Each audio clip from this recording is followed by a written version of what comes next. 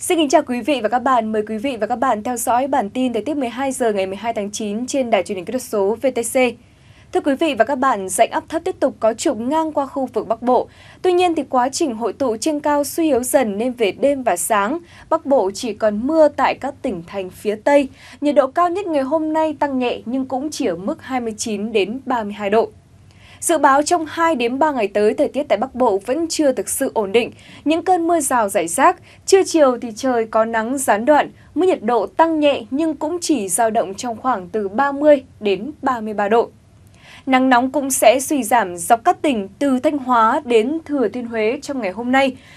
Còn lại, dọc các tỉnh từ Đà Nẵng trở vào cho tới Ninh Thuận và Bình Thuận, trời vẫn có nắng nhưng xen giữa những khoảng nhiều mây nên cường độ nắng giảm. Mức nhiệt độ cao nhất ngày hôm nay phổ biến từ 31 đến 34 độ. Nên nhiệt độ này sẽ duy trì trong 3 ngày tới nên thời tiết miền Trung khá mát mẻ và dễ chịu. Ở phía Nam, gió Tây Nam có xu hướng hoạt động mạnh dần.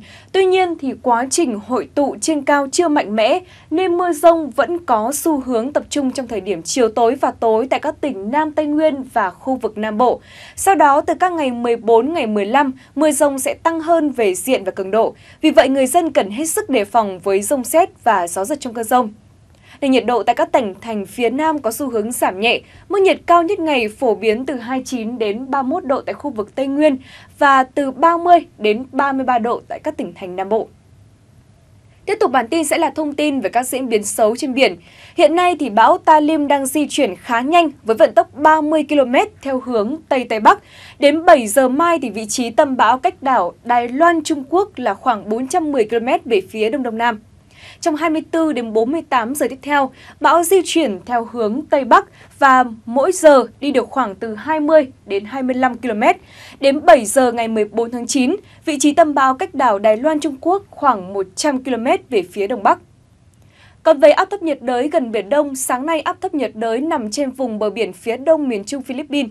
Dự báo trong 24 giờ tới thì áp thấp nhiệt đới di chuyển theo hướng Tây Tây Bắc và mỗi giờ đi được khoảng từ 15 đến 20 km và có khả năng mạnh lên thành bão.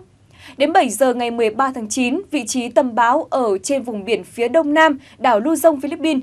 Sức gió mạnh nhất ở vùng gần tâm bão là mạnh cấp 8, giật cấp 10. Do ảnh hưởng của áp thấp nhiệt đới có khả năng mạnh lên thành bão, từ gần sáng và ngày mai 13 tháng 9, vùng biển phía đông khu vực giữa Biển Đông, gió mạnh dần lên cấp 6, cấp 7, vùng gần tâm bão đi qua là cấp 8, giật cấp 10, biển động mạnh. Và tiếp theo sẽ là phần dự báo chi tiết trong 3 ngày tới cho các khu vực trên cả nước. Thưa quý vị, tại khu vực phía Tây Bắc Bộ, 3 ngày tới thời tiết duy trì trạng thái đêm và sáng nhiều mây, có mưa, mưa rào nhẹ rải rác, trưa chiều sẽ có nắng gián đoạn, nhiệt độ cao nhất ban trưa ở mức 30 đến 33 độ. Tại khu vực phía Đông Bắc Bộ trong 3 ngày tới, đêm và sáng nhiều mây, có mưa rào rải rác, trưa chiều sẽ có nắng gián đoạn, nhiệt độ cao nhất ban ngày chưa tăng nhiều, ở mức từ 29 đến 32 độ. Đối với các tỉnh Thanh Hóa đến Thừa Thiên Huế trong những ngày tới, thời tiết chuyển biến sang trạng thái mây thay đổi đến nhiều mây. Ngày 14 và ngày 15 sẽ có mưa rào và rông rải rác, nhiệt độ có xu hướng giảm nhẹ, cao nhất ban trưa không vượt quá ngưỡng 34 độ. Khu vực từ Đà Nẵng đến Bình Thuận trong 3 ngày tới mây thay đổi đến nhiều mây, có mưa rào và rông rải rác trong ngày 14 và ngày 15, tập trung ở phía bắc khu vực và nhiệt độ cao nhất ban trưa sẽ ở ngưỡng từ 31 đến 34 độ.